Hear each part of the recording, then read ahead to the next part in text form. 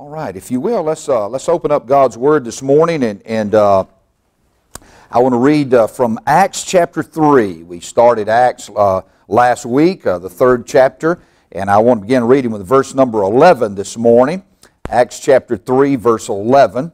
And uh, we'll read down a few of these verses and then we're going to come back and, of course, study these, these passages together. Verse 11 says, Now as the lame man who was healed, held on to Peter and John, all the people ran together to them in the porch, which is called Solomon's, greatly amazed. So when Peter saw it, he responded to the people Men of Israel, why do you marvel at this? Or why look so intently at us, as though by our power or godliness we had made this man walk? The God of Abraham, Isaac, and Jacob, the God of our fathers, glorified his servant Jesus, whom you delivered up and denied in the presence of Pilate when he was determined to let him go. But you denied the Holy One and the just, and asked for a murderer to be granted to you, and kill the Prince of Life, whom God raised from the dead, of which we are witnesses. And his name, through faith, in his name has made the man strong, whom you see and know. Yes, the faith which comes through him has given him this perfect soundness in the presence of you all. Yet now, brethren, I know that you did it in ignorance, as did also your rulers. But those things which God foretold by the mouth of his prophets that the Christ would suffer, he has thus fulfilled. Repent therefore and be converted that your sins may be blotted out, so that times of refreshing may come from the presence of the Lord. Let's bow together for a moment of prayer as we begin our service today. Gracious Father, we are so grateful for the day and for the opportunities of this day, for the opportunities that we've already experienced, and, and Lord, for what we will experience in the course of this day. Lord, we do come today to just ask you to guide us through worship this morning. I pray that you bless us as we sing songs of praise to you. I pray that the truths of these hymns will speak to our hearts. And I also pray that as the Word of God is opened, these verses are expounded and preached, that the Holy Spirit of God will just show up in a special way.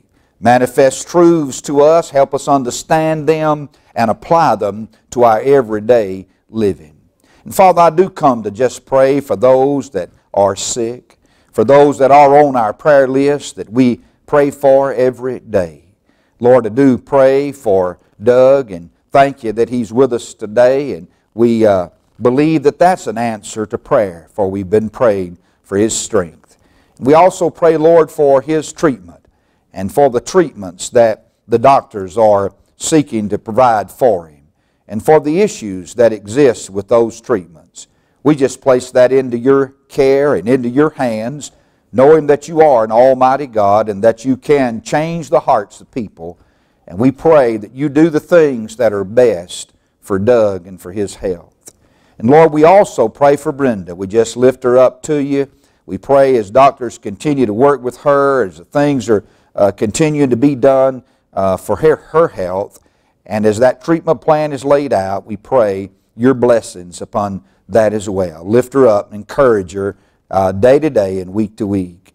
And Lord, we do pray for Mr. Skipper. We lift him up uh, to you today and Miss Jackie and the needs that they have uh, in their lives. We're grateful that they got settled in yesterday, and, and we just pray for, for Andy and for all of his family. And we pray, Lord, that you provide the needs that they have at this time. We pray as they uh, look for individuals to help them, for sitters to uh, help them with the needs of their parents, that, Lord, you'll provide the right people and that you'll provide the skilled people that, that can give them help. We also pray for hospice care as it comes in and out and about through the weeks, and we just ask that your hand be used in a special way in that as well. And so, Lord, we just lift these individuals up along with many, many others, And we ask that you provide for them in ways that only you can. We believe that your grace is sufficient, and we believe that your supplies will be uh, provided for them according to your riches and glory through Christ Jesus, in whose name we pray. Amen. Chapter 3, and we're going to be looking at verses 11 uh, through 26. Verses 11 through 26. I want you to bow with me for just a, another word of prayer before we uh, begin with the message. Father, thank you for the day that you've given. Thank you for uh, now the opportunity of just sitting before the Word of God this morning. And Lord, here's what I pray. I, I pray and ask uh, the Holy Spirit of God will give direction to the preacher. And not only give direction to the preacher, but give inspiration to the preaching. And I pray not only for the preaching of the message, but I pray for the hearing of the message as well. Lord, I pray that our hearts and our ears will be open. We'll be able to hear what your Spirit says to us as we study this passage together, and that our hearts will be moved and challenged and even changed because of the power of the preached word. Lord, we're keenly aware that without you, without the presence of your Spirit, we can accomplish nothing. But with it, all good can come. And we pray for that, and we pray it in the powerful and lovely name of the Lord Jesus. Amen. Amen. Acts chapter 3 and verses 11 through 26 continue the story that we started last Sunday morning as we looked at lifting the lame. We saw the miracle that occurred in the first 10 verses of this chapter. And today we really come to what I discovered as I studied it this week the heart and the main theme of the entire chapter. I want to speak to you today on this subject bragging on Jesus. Bragging on Jesus. I uh, read the story many, many years ago of the young preacher who was preaching his first sermon. Now, you'd either have to probably be a Sunday school teacher or a preacher to understand what it means to preach your first sermon or teach your first Sunday school lesson. I remember my first sermon. I remember it as if it was yesterday. It was a little shaky and it was a lot short. And I know a lot of folks say today, well, maybe it ought to be a little shaky and a lot short nowadays, but uh, cause I guess I learned to lengthen it out a little bit. But anyway, I, I read this story a long time ago, and I've never forgotten it. A young preacher was getting ready to preach his first sermon. And he went to his godly mother and he asked her if she had any advice for him as he got ready to preach his first sermon. And here's what she said, and I think it was absolutely correct advice. She said, Well, son, I don't know if I have anything to say to you as far as the sermon that you preach or how you do it, but I'd simply say this whatever you do, don't forget somewhere to brag on Jesus. And I think that's pretty good advice, don't you? And I've really tried through the years to remember that godly woman's advice to her preacher son and all, of course, brag on Jesus. And that's really what I want to do today because Actually, as we read the text and study it, we're going to discover that that is exactly what Simon Peter does in this passage. He simply brags on Jesus. Now, we know what happened from last week, but I want to just refresh your mind.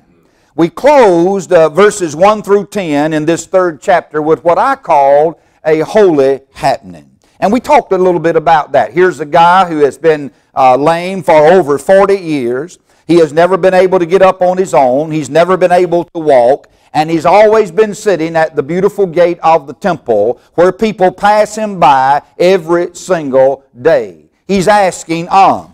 But on that day, something miraculous occurred. Simon Peter and gave him what he needed, and he gets up and he walks. Now, when you begin with verse 11, you will discover that it says that this man, holding on to Peter and John, goes into the temple. Now, what we discovered happened last week was is that when the man uh, was able to get up, it hadn't been able to get up for 40 years, he created, I guess, what we would call also a holy commotion. He starts walking, he starts leaping, and he starts praising God. Nobody can, can keep him quiet. I mean, you wouldn't be able to stay quiet either if you hadn't walked in over 40 years and now you could get up on your feet, would you? Well, really, a miracle occurred in this man's life. And so what happens as you read the text is everybody knew who the man was. They've been passing him for who knows how long they'd been passing him. And they had extended a hand of help to him. So everybody knew that he was the man. Everybody knew the man had been sitting at the gate and for a long time, and perhaps they all knew that he'd been lame for 40 years. So they all know who he is. And they now can see something miraculous has occurred. And, and you'll notice what the, what the passage says. In, in, in verse 11 it says, As the lame man who was healed held on to Peter and John, all the people ran together to them in the porch which is called Solomon's. And notice it says, greatly amazed. They were greatly amazed. They were shocked at what happened. And then I want you to notice that it says that in that same verse, you notice it says all the people ran together to them. Now what that means is, is that here's Peter and John and the lame man, and they're heading into church all together, and the people just rush and they gather all around them. Now, I ask you a question. What in the world would you expect a preacher to do when a crowd gets all around him? He's going to preach, isn't he? And that is exactly what Simon Peter does in this passage of Scripture. He gets him a crowd and he starts preaching. Now, I don't know if any of you in here have ever had to do it, but I, I had to do it. it. it. was one of the requirements when I went to New Orleans uh, Seminary. We had to do street preaching. Now, I don't know if you've ever been around street preaching or not, and street preaching in on Bourbon Street, that's a whole nother world right there. I want you to understand. I promise you that street preaching in Evergreen, Alabama is different than street preaching on Bourbon Street in New Orleans, Louisiana. But uh, I had to do it. And uh, sometimes you preach to one, and sometimes you preach to none. And sometimes they just all be sitting over there on the benches uh, down there at the French quarters uh, in New Orleans and uh, it's quite a different atmosphere. So when Peter got his, uh, his crowd together, he starts to preach. And I want you to notice an interesting thing. It really did interest me. I want you to notice an interesting thing that Peter does in verse number 12. Notice in verse 12 it says, So when Peter saw it, in other words, when he saw the crowd, they were gathered all around them, they were amazed at what had happened. He responded to the people. And here's what he said Men of Israel, why do you marvel at this? And notice what else he says. Or, why look so intently where? At us, as though by our own power or godliness we had made this man walk. Now you notice what Peter does in this passage of Scripture? Peter does what normally man won't do. Peter doesn't take credit for what happened. In, in fact, in this passage of Scripture, Peter takes the emphasis off him, he takes the emphasis off John, and he puts it squarely on Jesus Christ. He said, Why you marvel at this? Why are you looking so intently at, at us as if it was our power or our godliness that made the man get up and walk? It wasn't us. And then in verse 13 all the way to verse 26, Peter simply brags on Jesus. And, I want you to notice these verses because we're going to just brag on Jesus for a little while this morning, exactly as Peter did. Now, it always helps the preacher if a miracle occurs before his sermon. I promise you that always helps the preaching of the Word of God. That, that, that's the reason uh, it's always exciting for me to be able to look out and see some people whom God's done some miracle working power in their life. It always helps the sermon whenever you can, whenever you can see that. I believe Doug's here because of the miracle working power of God. That's what I believe. Now, somebody might say, well, the doctors did that. No, I give credit to whose credit is due. I give credit to the good Lord. You know, this week, uh, this week uh, on Monday, I, I believe it was actually Sunday afternoon, they did a test on Kayla, our daughter who's been in the hospital for five weeks uh, just trying to stop a delivery. And uh, they did a test on her on Sunday afternoon to check the lungs of the baby. And uh, because they'd been having to really do drugs and things to suppress uh, uh, delivery. And the results came back on Monday, and they said the lungs were at 38, whatever that number is, and it needed to be 50. And so the doctor said, We're going to wait till Monday, which would be tomorrow. But God didn't want to wait till Monday. And Wednesday, everything started happening.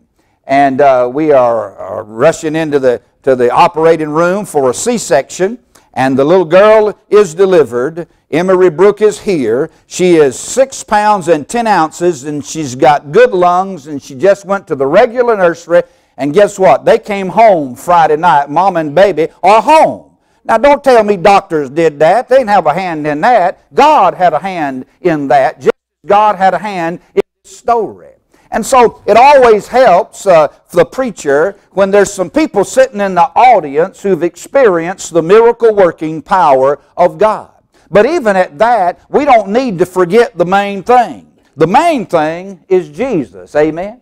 That's the main thing. In fact, it interested me when I studied this passage that 10 verses talk about the miracle of the man getting up and walking.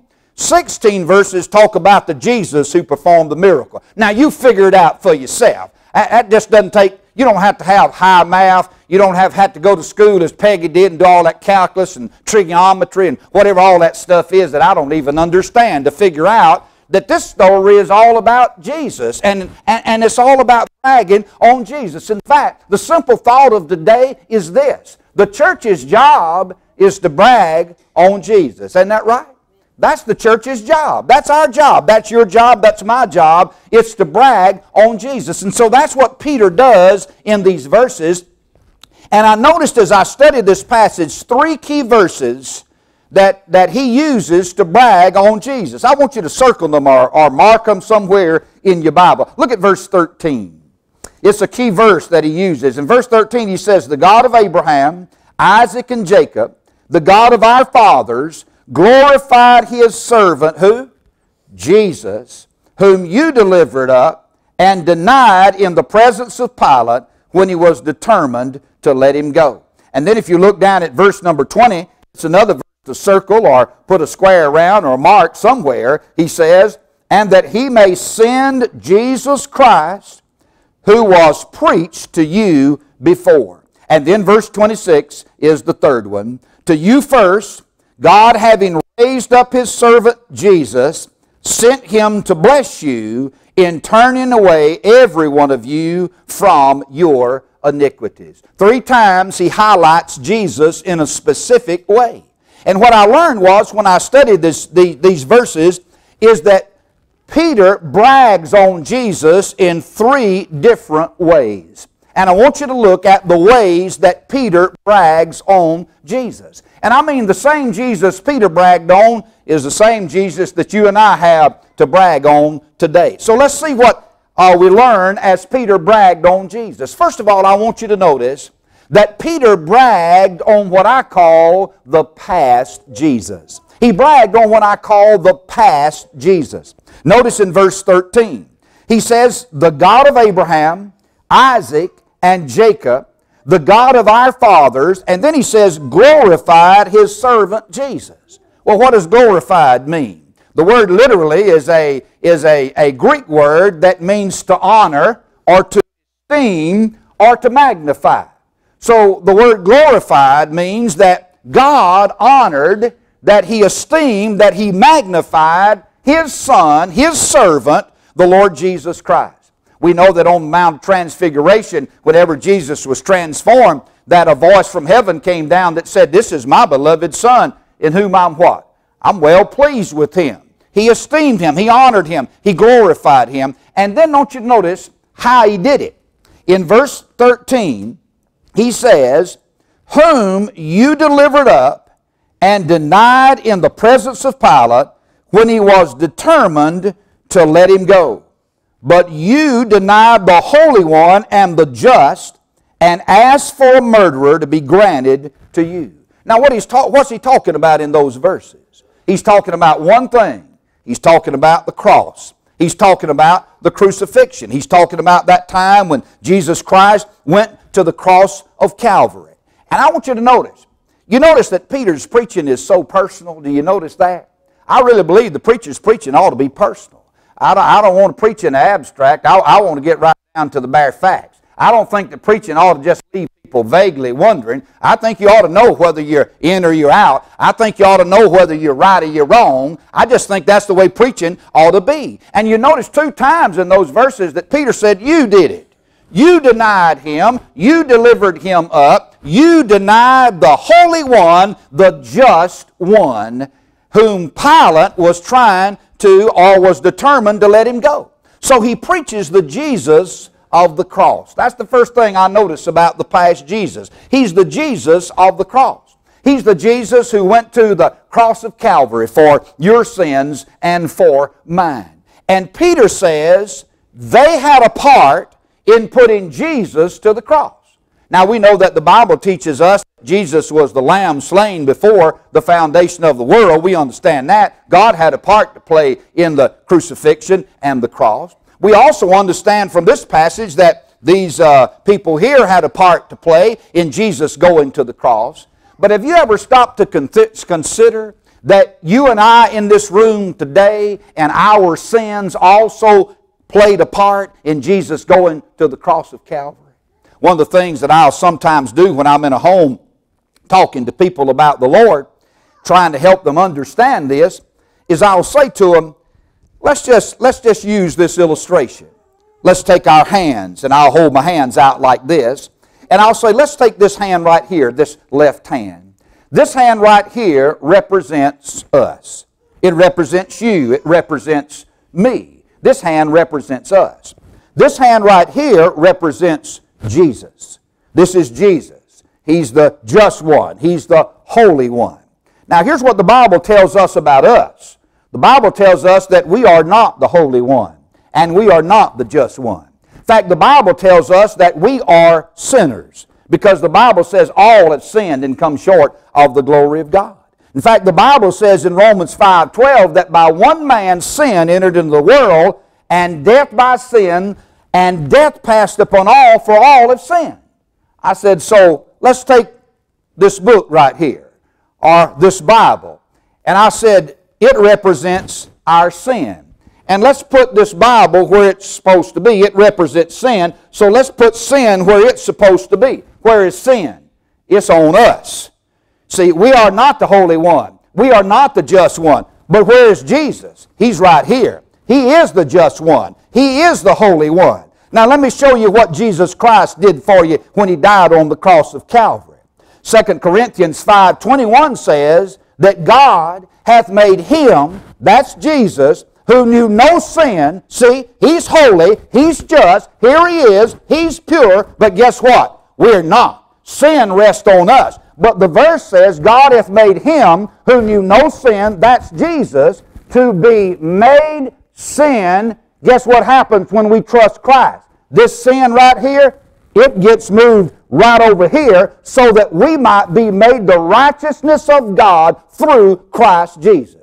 Now that ought to, that ought to make anybody want to shout a little bit this morning. You know, I mean, even if you can't get but a little woo, but that, that you ought at least get you ought at least get that much out right there. You see what's happened to our sins? And that all happened when Jesus Christ took our sins to the cross of Calvary. So you see, he talks about the past Jesus. He's the Jesus of the cross. But, but I got news for you. If the story of Jesus had ended at the cross, then it wouldn't be a good story.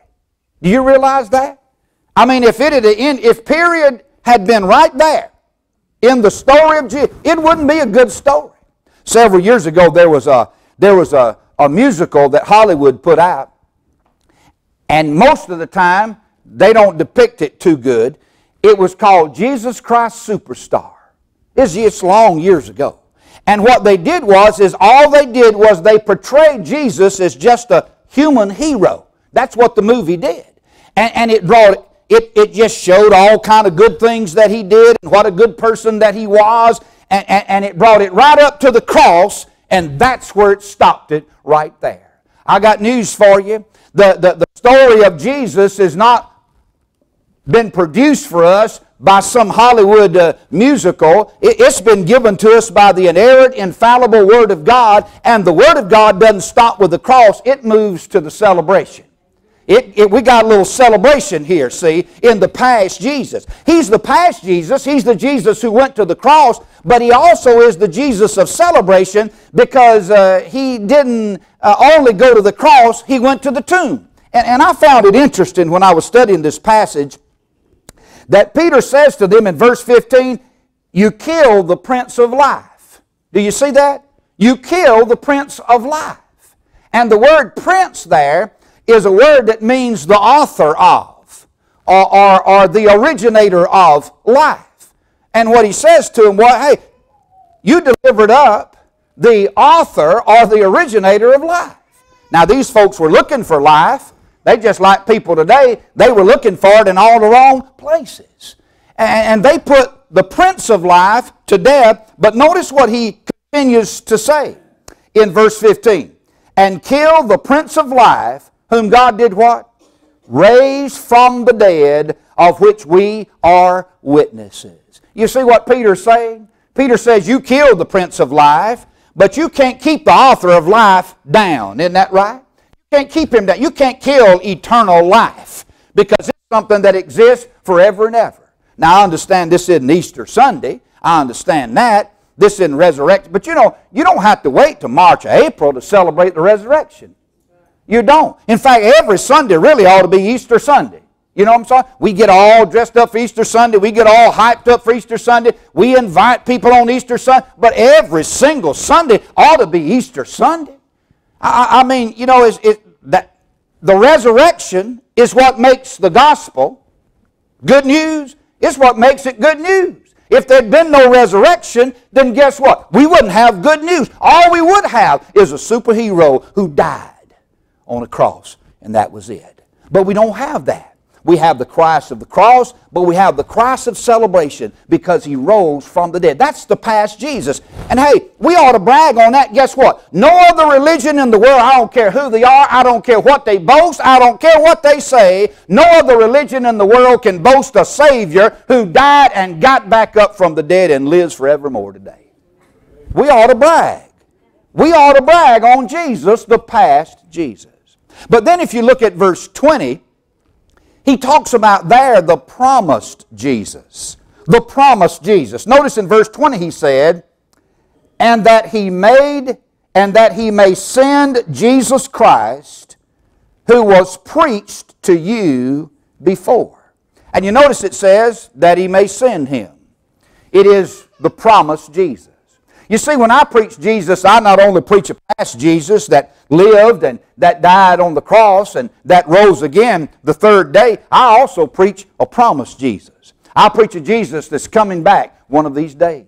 In fact, the hope of my faith and the anchor of my soul is found in a Jesus who's coming back. You know how I can make it when I have to carry family members out to the cemetery? I can make it because I know that isn't the end of the story. There's another chapter going to be written in this story before the book is closed. That's the reason I can make it. The reason I can stand up and do funeral after funeral of people that I love is because I know this isn't the end of the chapter. There's another story going to be added to the book of their life. And that's because we have hope in a Jesus who's coming back one of these days. Now, when I read these verses, I discovered that he talks about times. Did you notice that? Let me point it out to you in verse number 19. He says, Repent therefore and be converted, that your sins may be blotted out, so that, see it, times, times of refreshing may come from the presence of the Lord. And then he talks about the promise Jesus in verse 20 and verse 21 he says, Whom heaven must receive, and guess what? It received him, did it not? Forty days after the resurrection, he ascended back to heaven. Notice he says, Whom heaven must receive until what? There it is again. The times of the restoration of all things. He talks about two different kinds of times. Now he talks about times that can happen or take place before Jesus comes and he talks about a time that will happen after Jesus comes. Now I want you to watch him. He calls them two things. He calls them in verse 19 times of refreshing. Now you ever need refreshing? You ever need refreshing uh, physically? You get out there and you work hard and it's hot and you get tired or, or you, you lack a little uh, liquid and so you need a refreshment. You ever need that spiritually in your life? Ever need a little refreshing in your life spiritually? Well, he says there are times of refreshing that can come. Now, notice, he says, here's what brings refreshment in the life of a person one word in verse number 19? The first word. What's the word? Repent. That's the word. Repent is what brings times of refreshment into the life of a person. You notice repent, that's the negative in verse 19. Therefore, and be what? Converted or changed. That's the positive, that your sins may be blotted out. So he says in, in this time of refreshment, there is a, there's a negative, you got to repent, you got to turn, and then there's a positive, your sins can be blotted out. Now, I don't know if I, what that means to you, but it ought to mean something really special to think about sins can be blotted out. I, I told you everybody had been having problems with the computers this week. Monday, when I got in the office, my financial secretary in Greenville said to me, said, I, I, just something crazy going on with my computer. And I went in there, and, and there's, where there was this screen that had come up on her computer, and I said, well, that's not good. I know that much about computers. That's not good. And she said, Well, that's a real blessing you gave me on a Monday morning. That's nice. I said, Well, it's just not good. We better call our, our tech guy and get him in here and find out what's going on. And so I called him and he said, Well, give me a, just snap me a picture of the screen and send it to me.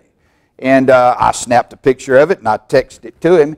And he texted me back, That's not good. I said, uh, I know that much and I ain't getting paid for this job. We got to go deeper than that's not good. But, but anyway, he came over on Monday afternoon, took a look at it. Tuesday, she came running down the hall. And You need to pray for her. She's all stressed out. She came running down the hall. My, my computer's gone. It's gone. It's gone. It's black. It's black. I said, it just crashed. She said, what? I said, it crashed. It died. It's gone. Now, you know what happens when a computer crashes? It's gone. Ask Dalton back there if you don't believe it's gone. It's gone. When a computer crashes, it's gone. Fortunately, though, Miss Jean backs up by the second. She's paranoid about backing up now. She don't back up by the minute. She don't back up by the hour. She backs up by the second. So we don't have a real problem. we just going to get a new computer. We're going to install the software back on it. It's a little aggravating. And then we're going to go get the backup files and we're going to restore it all back on her computer and it's all going to be good. I want to give you a little blessing about sins blotted out this morning because I'm going somewhere with that illustration. You see, in a person's life, when a person comes to Jesus, here's what happens sin and Jesus meet spiritually, and a crash occurs. And the Bible tells us when that crash occurs, forgiveness happens in a person's life. Aren't you glad? And, and it also said, hey, I've been thinking about doing a sermon on what happens to your sin. Oh, don't you think that'd be a good one? What happens to your sin? The Bible tells us that some things happens to your sins. Bible tells us Jesus forgets them. He remembers them no more. That isn't my word. That's God's word. In fact, it says, far as the east is from the west, I believe the Bible says. This verse says he blots them out. He just wipes them out. He wipes them clean. So when Jesus and sin in your life meets, there's a spiritual crash that occurs and sins are gone. They're gone. Praise God, they're gone. And the good thing is this the old devil is called the accuser. That's what he's called in the Bible.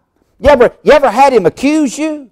You ever had him slide spiritually up to you and, and say, Don't you remember when? You ever had him do that to you? Don't you remember? Well, let me tell you what you do. Next time he slides up to you and says, Don't you remember when? Why don't you just ask him to produce the evidence of when?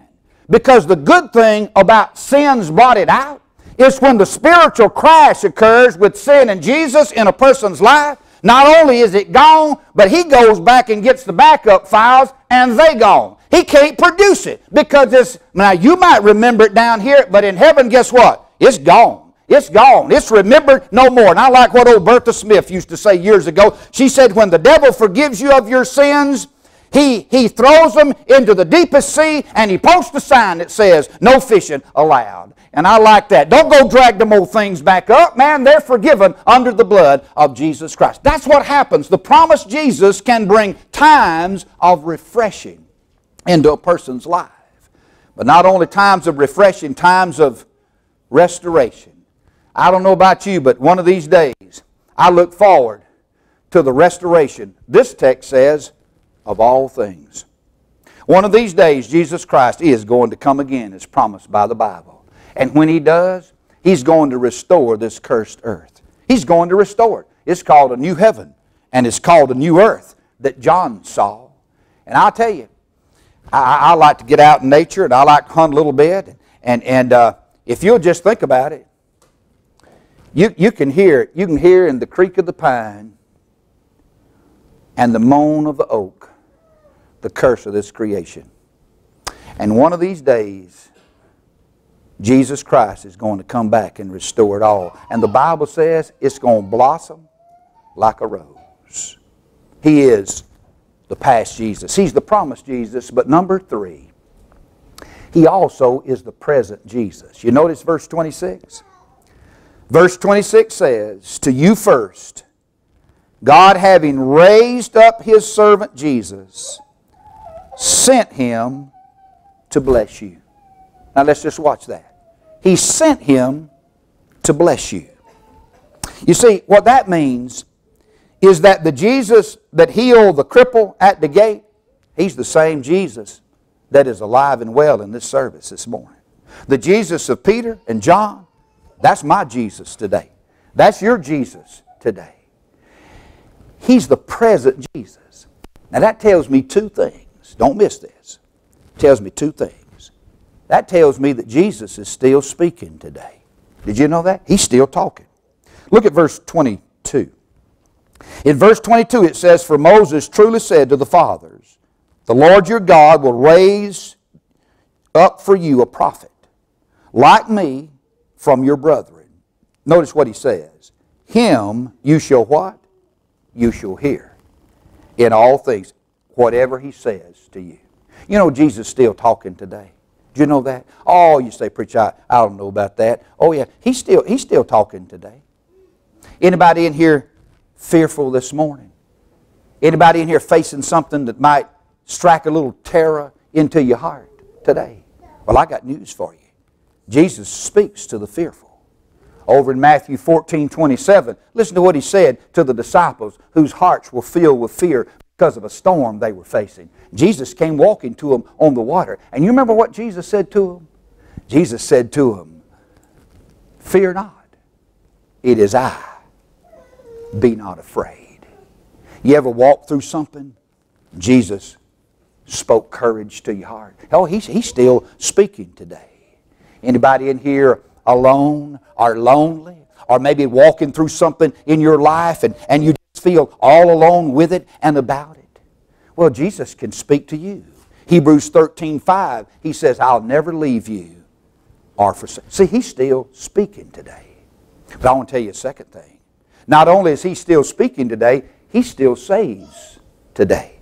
You notice verse 26? He's going to bless you in doing what? Turning away every one of you from your what? Your iniquities. See, every one of us in here, if you're saved, you know Christ, you've had iniquities turned away. You've had sins forgiven. And because of that, we ought to want to brag on Jesus. You see, the whole emphasis is that the church is supposed to brag on Jesus. And if you've really had a good dose of Jesus, it's Jesus you'll brag on.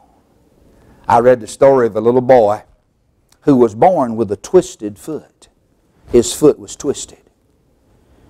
And because his foot was twisted, just born to the outside, turning outward, he couldn't run. His balance was all off. And he was born to very poor parents who lived in a very poor section of town. So the option of a good doctor or surgery just wasn't a possibility for the little fella. Until finally, somehow in a miraculous manner, a skilled orthopedic surgeon was introduced to this family and agreed to perform the surgery on the little boy. And he did. They carried him into the hospital. They prepped him for surgery. His ankle was broken. It was repositioned, put back in place, and it healed. Therapy was done, and the little boy was able to walk and run and play as other little boys. One day, one of his little friends came to the hospital to see both of these boys came from a very, very poor section of town. never had much and never seen much. As the little boy who had had surgery was walking his friend th- through the hospital, the little boy that had come to visit his friend in the hospital was just looking around. And he saw colors that he had never seen in all his life. And he saw beauty that he had, his eyes had never been able to behold. And he looked at his little friend as they were walking down the hall, and he said to him, This is the most beautiful place I've ever seen.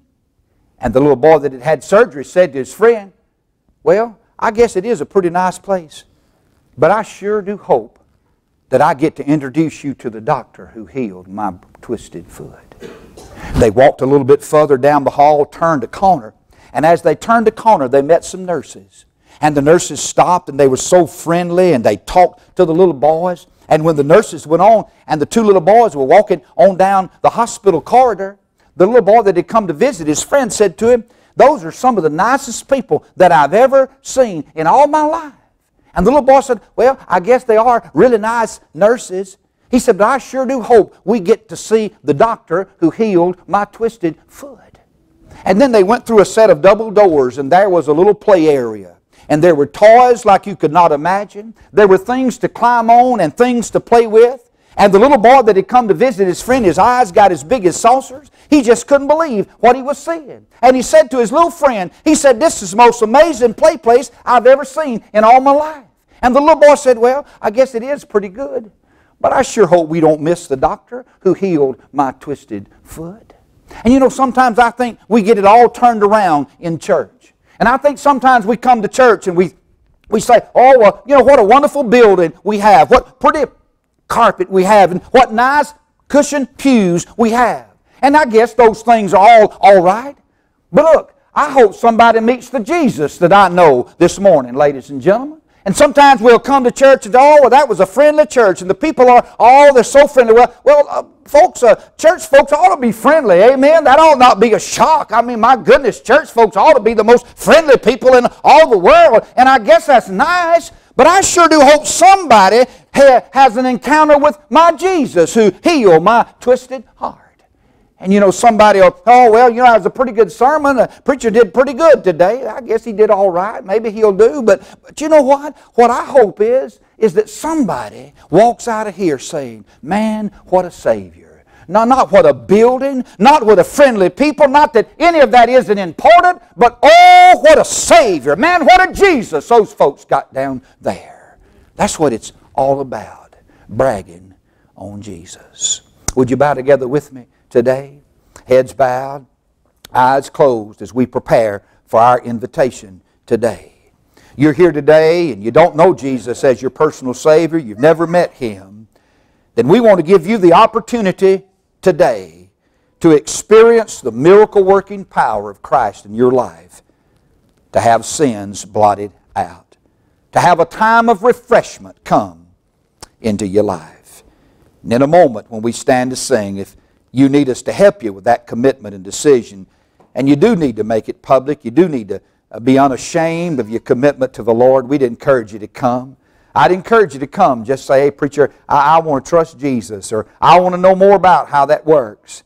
And I'll be glad to talk to you, and I'll be glad to, to follow up beyond today with you.